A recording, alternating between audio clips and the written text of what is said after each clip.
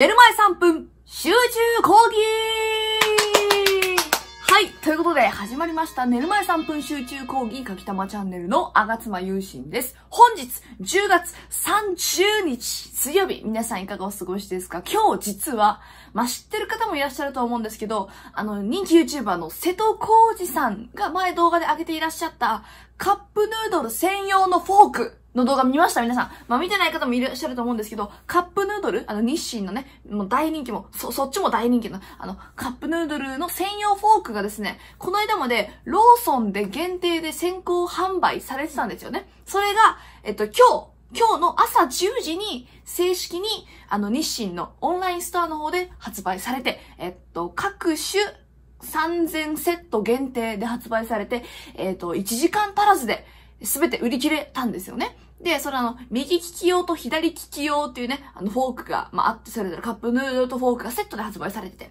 で、あの、私左利きなんで、左利き用欲しいなと思ってたんです。で、そのわずか1時間足らず、しかも左利き用から先に完売したからね。左利き、やっぱね、その数がもともと少ないから左利き、利き用のカップヌードルのこのセットがね、フォークの。だから、すぐ、もう右利きよりもはるかに早く左利き用が完売したんだけど、なんと私変えました。ね、届いたらね、ちょっと紹介しますので、あ、まあ、別にやんなくてもいいよっていう人は、ま、コメントください。あの、一応やる紹介するつもりなのでね、お楽しみにしてください。そして明日はハロウィン。ハロウィンつってもね、何すんのかわかんないし、あと私、明日テストが2つあるから、普通に今からもう、もう勉強しなくちゃいけないんだけどね、あの、追い詰めなきゃいけないからさ、ちょっと、あの、ハロウィンって何すんの？なんかさ、別に、もうさ、そろそろさ、そういう年じゃないというか、ハロウィンだイエス仮装イエスお菓子イエストリックアトリックみたいな、そういう年じゃないから、ね、なんかあの、ツイッターでね、ちょっと話題になってましたけど、そのハロウィンっていうのは子供がやるものであって、大人が羽目を外していい場所ではないみたいな。で、そこに対して税金、あ、国から1億円とか予算を出しているのはおかしいみたいなね、あの、まあ、投稿みたいなのがね、バズってましたけど、そう、そういうことだよね。うん、だから別になんかもう、大人の人はさ、もう静かにさ、ね、子供にお菓子をあげる側に、ま、ま、ま、ね、ま、ま、まって回ろうよ。ね、子供が楽しむ場であってね、そういうね、あのー、意識を持って、あのー、去年とか一昨年とかのね、ハロウィンがね、すごくもう治安が悪かったじゃないですか、渋谷とか。あの、軽トラひっくり返す、あの、事件とかね、あったんで、本当にね、あの、皆さん、あの、ルールは守って、常識の範囲内で楽しむ分にはいいと思うのでね、ぜひ楽しんでいきましょう。めちゃめちゃ前置き長くなりましたけど、今日はですね、あの、なんでこんなに前置きを長くしたかっていうと、本編というか内容が多分めちゃめちゃつまらないんです。あの、私今日、ある発見をしたんです。で、それを皆さんにちょっと今日共有しようかなと思って。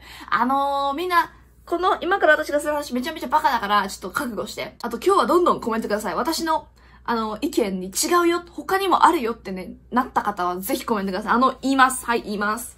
あの、この世で、蹴ってよし。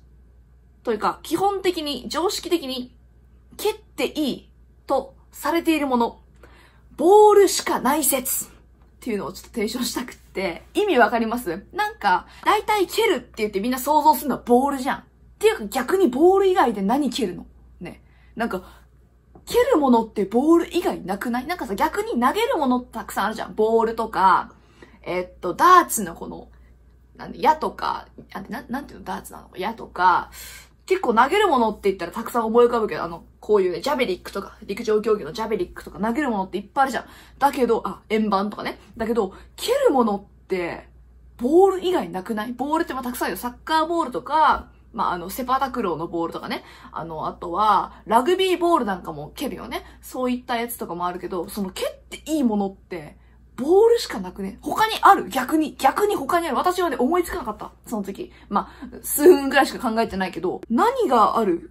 そう、それをね、みんなにも聞きたくって、あれ？ボール以外で蹴るものなくない？この世に。って思って。逆にボール以外のものを蹴ったことある人もね、あの、コメントください。はい。ぜひ聞きたいので。はい。どう？今日の動画これで終わりやけど うっすいでしょ内容うっすいでしょそうね。だから前置きを長くしたっていうのもありますけどね。はい。ということで、ぜひ皆さんコメントください。寝る前3分集中講義ってね、本来こういうものだからね、3分で本当は終わらせなきゃいけない。5分、6分もやってるかおかしいって話だからね。はい。ということで、本日の寝る前3分集中講義はここまで、かきたまチャンネルのあがつまゆうしんでした。